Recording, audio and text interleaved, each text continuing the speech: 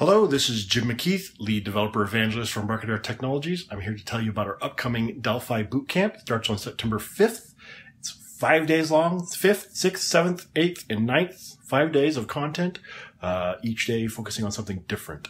This bootcamp is completely free. It's a great opportunity if you're new to Delphi or maybe you're a little new to programming or really want to stretch your legs, learn a new programming language, come check this out. Maybe you learned Turbo Pascal in school or you used Delphi years ago and you need to know what's going on with Delphi today.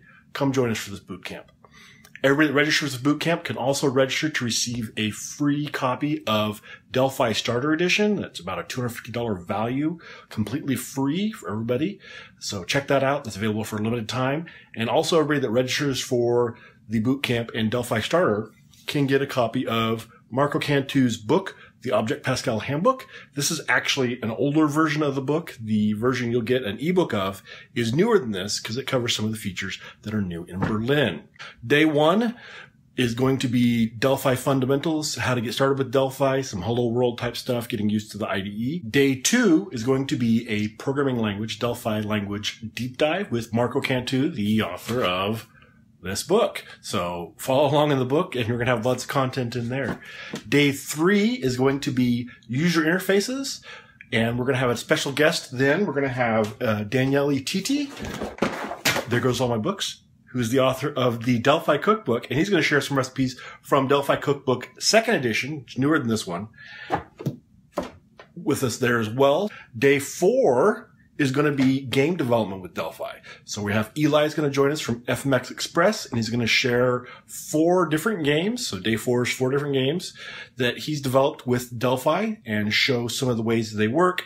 Uh, even if you're not interested in game development, there'll probably still be some useful stuff in here about graphics, about user interfaces and stuff like that.